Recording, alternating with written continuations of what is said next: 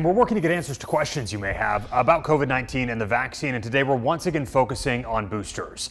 As you know, booster shots are available to many of us. The Pfizer vaccine to those 16 and up. And then when it comes to the Moderna and J&J, you can see it is 18 and older eligible for the vaccine. And remember, you can mix and match when it comes to boosters. So here's the question today. Once you get your booster, how long does it take to get your immunity back up to protect against the virus? I took that question to Dr. Karen Landers at the Alabama Department of Public Health, and here's what she told me. Some of the data uh, that I read on that really indicated that people had a very good response, certainly within a couple of weeks of their booster vaccine. Well, interestingly, in some of the data I read, people actually had very high and even higher titers, again, in some of the studies after their booster dose of vaccine. So I think that's a, a safe window, that couple of weeks after taking your booster vaccine.